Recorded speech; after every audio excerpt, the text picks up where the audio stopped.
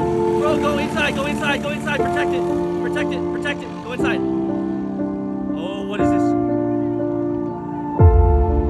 He's got a better run, he's got a better run!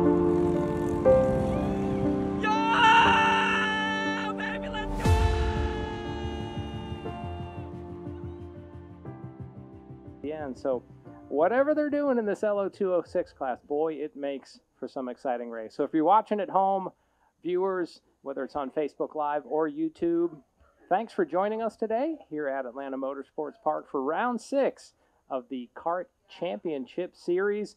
You should be in for a good one here, and I'm hoping that Saddington and Giglio will have a replay of what they did in their race earlier th- today. Uh, John, I think I think we've been here. I think this is our third year here of doing this at Atlanta Motorsports Park, and we've seen so many of these drivers.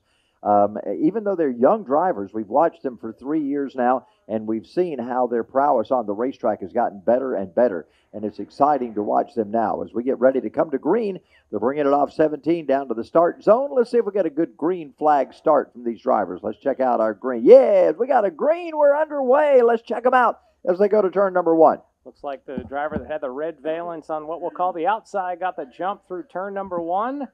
And we'll have to check numbers to see if that's Giglio or it's Saddington as we have them getting a little wide. So one car gets about a three cart length lead up the hill. And if I'm not mistaken, Saddington has a white helmet. Uh, but now I may be wrong.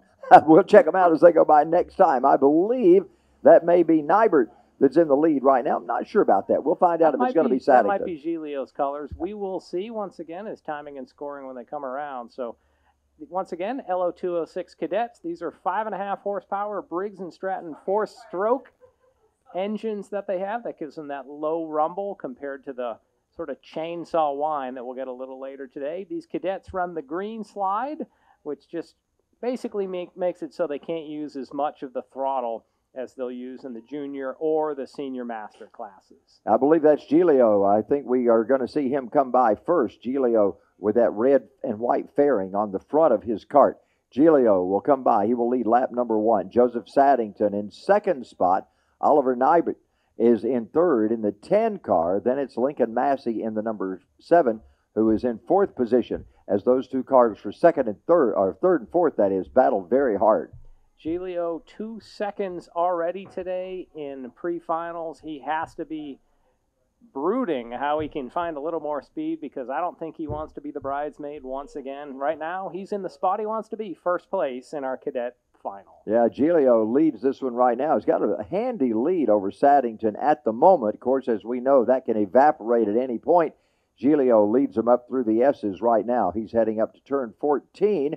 We're working lap number two of the 12 for our drivers in the LO206 cadet division. We need to get LO206 senior and uh, pardon me, senior and junior to the staging area. LO6, LO206 check that tag senior and tag junior. We need to get you to the staging area. Looks like a battle for the lead with Saddington taking a dive to the inside, and that white helmeted driver is to the lead, so move Saddington to the point.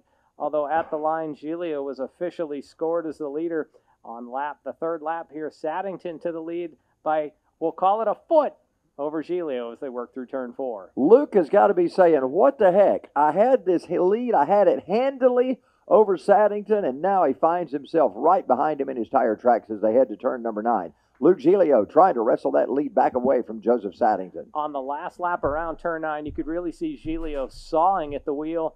You can note in comparison, Saddington does that set it and forget it.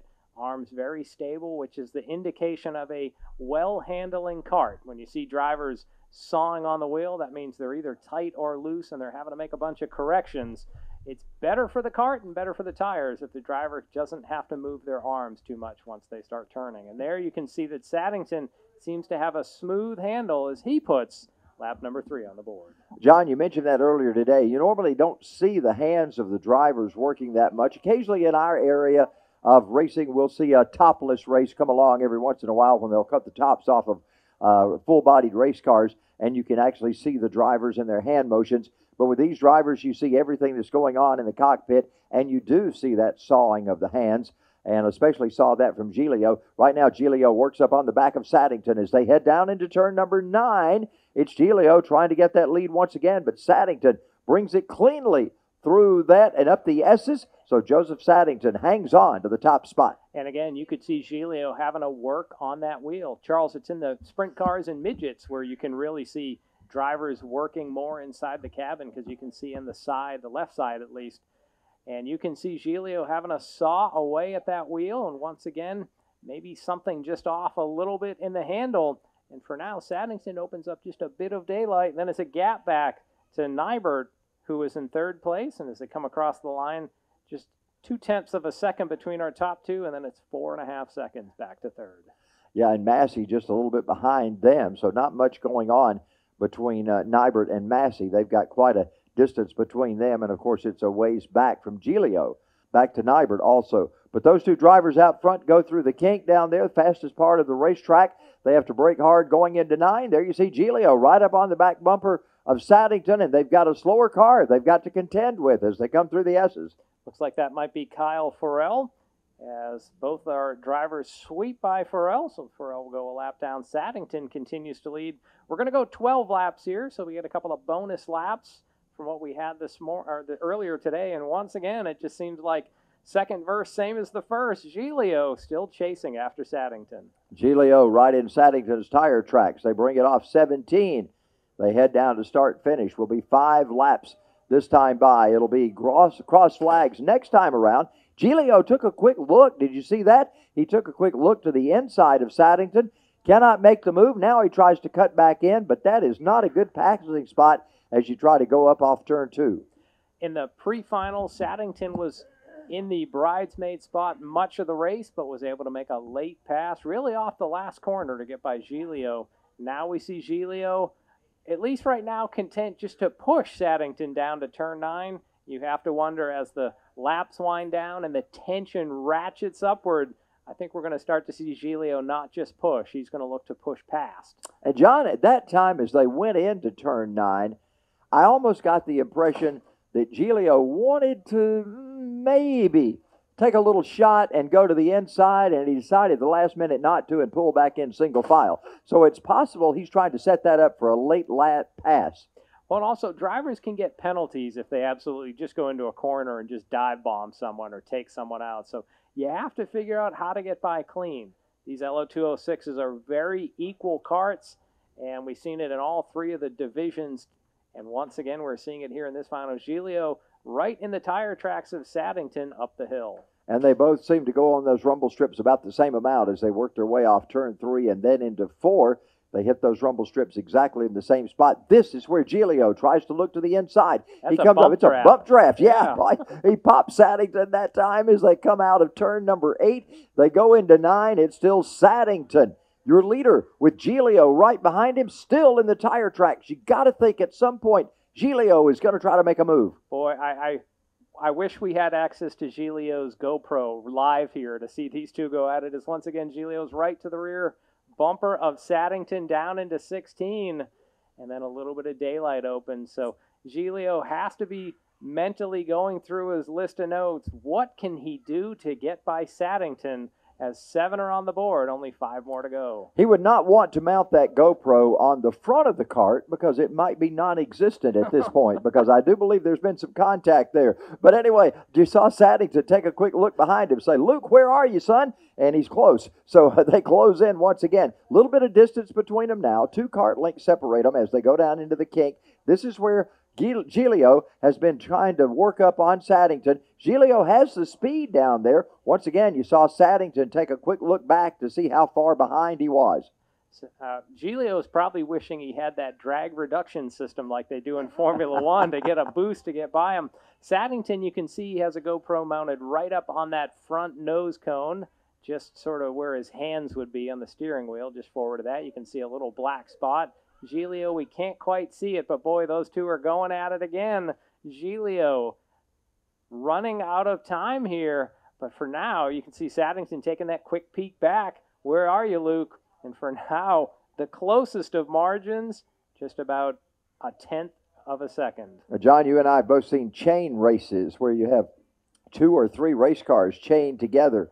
Uh, it almost looks like that's what we got going on right now. looks like there's a tow bar hooking those two guys together on some parts of this racetrack. They're going strong. There's four laps to go in this one, maybe, maybe three and a half laps at this point. There's oh, look bump. at Giglio Comes up and bumps Saddington once again. They go into nine. Is he trying to loosen him up? What's he trying to do? He's right there behind Saddington as they come off nine. bump and run coverage Oh! down the back straightaway as we Giglio! see Giglio move to the lead as Saddington swings wide. So maybe Saddington was hearing some footsteps that time. So moves Giglio to the point, but now Saddington is right there as they're going down into turn 15. Man, Joseph Saddington working on Giglio right now. They are right together. They go into turn 16. Giglio will come out of this. Well, I say he's going to be the leader. Let's see if he comes by as the leader. Yes, he will. Uh, last time I said that, Saddington sneaked by him right before they got to the flag. But right now, it's Giglio. They got a slow cart. They got to work That's, around. that's Reuben Greer. You'll note from the highlight package earlier, Greer was the 20 that really made hard impact into the car that was spun on the initial start. So it's good to see Greer back out there. That car had a lot of damage, I can imagine. So it's good to see some repairs affected as our leaders are coming up on, I believe that's Ryan DeHoney, and they slide to the inside. So now Giglio leads, Saddington in second with less than three laps to go. You can see Giglio sawing on the wheel to get through turn nine. Saddington right in his tire tracks. Now Saddington has to try to make Giglio hear some footsteps behind him as they head up to 14. Saddington is so smooth. You have not seen him saw on the wheel like you have Giglio all day long. But it's still Giglio in the lead right now. They go into turn number 16. It's Giglio and Saddington heading out of 17. And we are coming to two laps to go right now.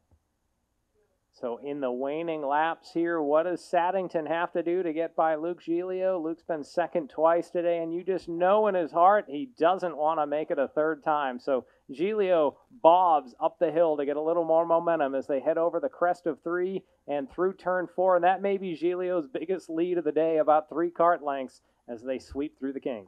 Wow, it's Giglio up front. Saddington trying to chase him down. Now we've got a lap and a half to go. So uh, Saddington has done it before. He's gotten by Giglio earlier today. Can that happen here at the end? Well, of course it can. But let's see what Giglio has to say about this. They head up the hill. Giglio looking back to see where Saddington is. Saddington, he doesn't have to look very far. Saddington is right there as they sweep through 13 and 14. Ooh.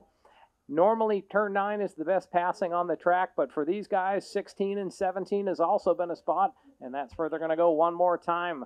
Now, this at this point, they will put 11 on the board and see that white flag. 17 turns left to decide our first final today. And John, it's been exciting because we've seen passes happen between 17 and the checkered flag today. So even in that straightaway area down there, sometimes that drag race ensues and somebody else comes up with the win after they led coming off 17. Giglio they come might have gotten a little squirrely off four, so Saddington might have a run down the back straightaway as Giglio plays defense down the inside of the back straightaway. Yeah, he's looking to the inside. Saddington goes high. Here they come. Final time through turn number nine. Giglio, is he going to saw on the Cro- wheel? Yes, he is. crossover. Saddington coming to the Oh. inside. Oh, my. Joseph Saddington has taken that spot away from Lou Giglio. They come up into 14. Giglio played defense, and that set him up for the crossover. But here comes Giglio down to the Oh. inside of 14, slices in front of Saddington. Two more turns to go. Who's going to win it? Take us home, Charles. Wow, it's going to be a fantastic finish. Giglio, Saddington goes to the inside. Who's it going to be at the line? It's going to be a photo of Saddington Oh. with the win. My, oh my, what a finish. As Joseph Saddington comes back once again and beats Luke Giglio at the line. Oh, gracious. What a win it was for Joseph Saddington. What an outstanding last lap. John, my goodness. was Giglio looked a little squirrely off four. You could see the run that Saddington got, and then Giglio, for the first time in the race, played defense on the inside of turn nine. Well, by playing defense, it made him go wide on the corner, and Saddington seized that opening and went. You know, he got back in front. Giglio takes the lead once more, but Saddington is able to pull to the front coming through turn 17. So a few swappings of the lead there just on the final lap. look at the faces of these little kids. Look how teeny they are. Man, they're out there putting on adult action competition and racing hard. And you look at them and they're just wee little guys. Man, what a great race between those two. Can't say it enough. That was one of the best races of the day. And hopefully they'll even get better as we go. Let's check it out now. We're going to see this action. Look at this. That's the final lap where you see Giglio shield to the inside of nine, but then he slides wide through the middle, and there comes Saddington to take the lead, at least for the moment, as they go through the S's, but only by the smallest of margins. Now we see them up through 12. Or had gotten, or excuse me, that's Saddington. Now we see Giglio get a huge run off of 12, and he no holds barred, just does one of those send it moves up the inside. And Charles, at this point, I thought Giglio had it set. He slid in front, but it was off that last corner that Saddington was able to find one last reserve bit of reserves to get to the checkered flag first. Wow. What a last lap. What a last three or four turns in that one for these guys as Saddington gets the win. Giglio in second position. Just an outstanding race. You know, you wish you could put them both on the top of the podium because that's such a good I, race I and such see, a good finish. I want to see 10 more laps out of those kids. Yeah, yeah. Put on a show. All right, next group rolling on track. Our tag seniors, you're going to see the speed pick up a notch as we're seeing those two stroke engines, water